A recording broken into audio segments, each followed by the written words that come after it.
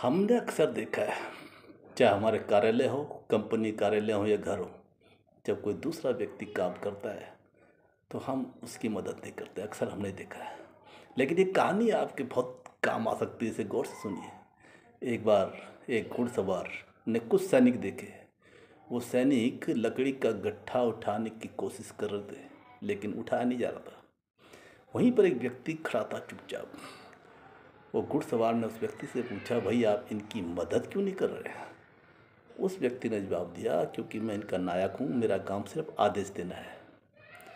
वो घुड़सवार उतरा।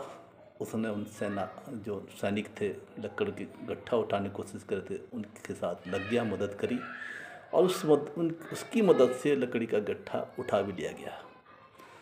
अब वो घुड़सवार जाते जाते उस नायक को कहा कि आगे से आपके सैनिकों को ज़रूरत पड़े तो अपने चीफ एंड कमांडर को बुला लेना।